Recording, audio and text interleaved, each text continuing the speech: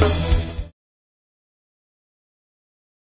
Apreciamos el anda mayor de la milagrosa imagen del Cristo de Pachacamilla, el Señor de los Milagros de Piura, que hoy martes 13 salió en procesión al promediar las 4 de la tarde desde la parroquia arzobispal, ubicado al costado del arzobispado de Piura, para recorrer en procesión las calles céntricas de nuestra ciudad, rumbo a la Basílica Catedral de Piura, para iniciar el quinario en honor al Cristo de los Milagros, desde este miércoles 14 al sábado 17 de octubre, en la que centros educativos, instituciones, instituciones públicas, privadas, municipalidades, Fuerzas Armadas y policiales le rendirán homenajes internos en horario de la mañana, tarde y noche con la participación de los mismos en la celebración de la Santa Misa.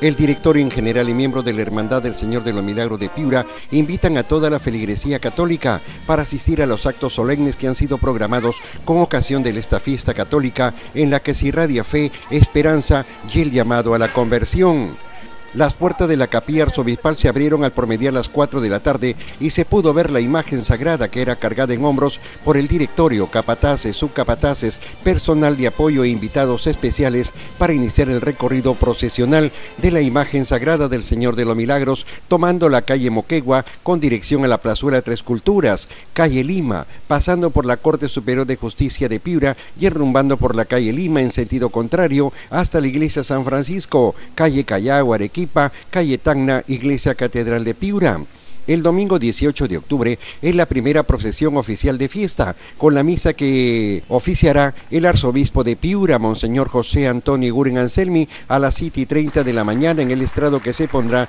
en la avenida Grau para luego culminar el acto litúrgico, iniciar la procesión por la calle Tacna, Bolognesi, Loreto, avenida Don Bosco, Gulman, Perú y llegar a la iglesia San José donde pernotará hasta el lunes 19, que es el retorno de la imagen del Cristo de Pachacamilla. Al día siguiente, lunes 19, la misa está programada para las 9 de la mañana y luego del acto litúrgico retorna en procesión por las calles de San José, Avenida Gulman, Avenida Grau, San Martín, Bolognesi, Avenida Grau nuevamente rumbo a la Catedral de Piura para reiniciar el novenario del 20 al 27 de octubre. Luis Sosa Segarra, TV Noticias, Piura.